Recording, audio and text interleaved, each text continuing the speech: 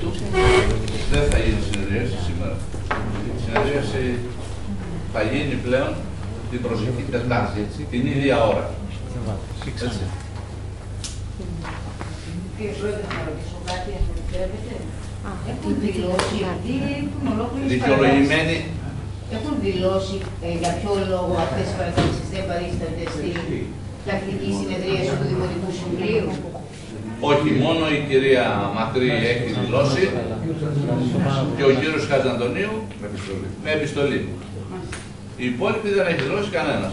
Εντάξει. Οι συνάδελφοί μας οι οποίοι είναι στον Θεατή είναι το Οι συνάδελφοι της ε, Είναι δικαιολογημένοι. είναι δικαιολογημένοι απόντες συγκεκριμένοι.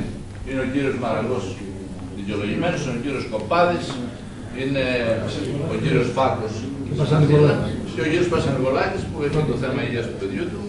Αυτοί είναι δικαιολογημένοι. Οι υπόλοιποι όλοι να μην ε, χαρακτηρίσω και να μην υποβαθμίσω άλλο το ρόλο του Δημοτικού Συμβουλίου. Εντάξει, ευχαριστώ.